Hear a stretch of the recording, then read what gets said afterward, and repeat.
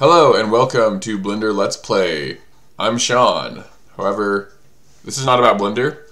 This is about a game jam.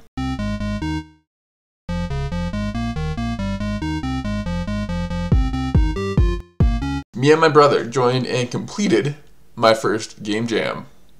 Don't worry, I'll forgive you if you decline to shower me with praise at such an accomplishment.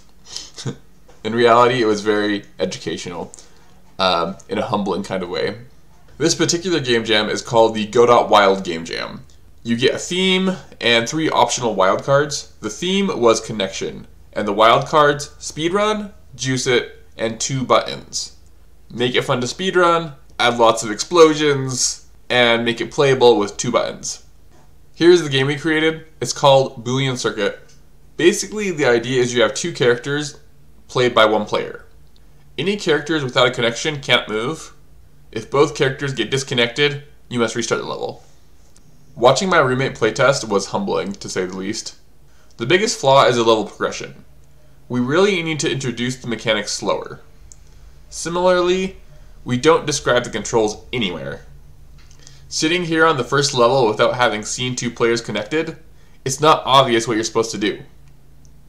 You know you need to get to the goal, but how you get there is not intuitive. The player just doesn't know the mechanics yet. The first level really just needs to be two characters and the finish. Maybe even one character in the finish, and the second level can have the two characters. I like the player movement. It feels really good when you are free to move around. However, you are not free to move around, and so it kind of ruins the controls. Fortunately, control schemes are recyclable, and so I want to build another game with this control scheme. It'd be a lot of fun. The dual character aspect I find pretty interesting. It enhances the puzzle aspect of the game a lot, and it is, I think it's pretty original for the most part. Um, I've seen some other games do it, like there's one where you play a fire elemental and an ice elemental. Initially, we wanted to make this a multiplayer game, but that was one of the features that was cut due to the time constraints and our casual development speed. I also feel like the game is lacking cohesion. It's missing a theme. I want it to evoke a united feeling, and it doesn't. And some of the other games I played do that, and I'm impressed, to say the least. The graphics of the game are obviously incomplete. And there's no audio to speak of, and there's a lawnmower going outside. I'm gonna ignore that. Some of the other submissions had menus, splash screens, soothing music, their graphics and music felt releasable. The major flaws in this game are easy enough to catch with some playtesting. However, we didn't do any playtesting till the last minute. The game was not playtestable until the last minute. Elon Musk often talks about how designing the factory is more difficult than designing the car. Something I want to do moving forward is put more work into designing my own factories. So not just completing the game jam, but building the factory to complete the game jams. Basically, playtesting should have been a part of our game development factory, and it wasn't. Lessons learned. Going into this, I didn't take it seriously. My goal and expectation was to build a prototype, and you can't really call the game I built anything more than a prototype. Meanwhile, some of the other contestants built games that I could see downloading from the App Store, games that I might enjoy while waiting for a bus, or during a long day when I need a, that minute to wind down.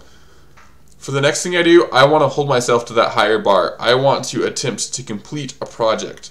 Aim higher than prototype. Aim for something that I can fail at. Basically, just take it seriously. Another lesson I'm taking away from this experience is to scope my projects.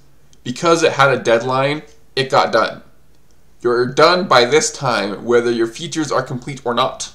It gave me extra reason to cut features that didn't work or ones that were taking too long.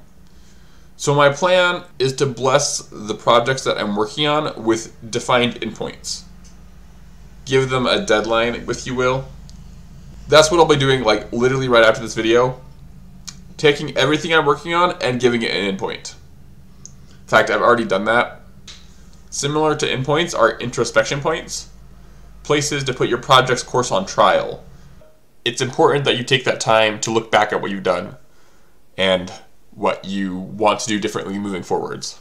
Basically, making sure you have a mechanism by which you can steer, not to mention brake and or reverse. I think from here, one or two things will happen to Boolean Circuit.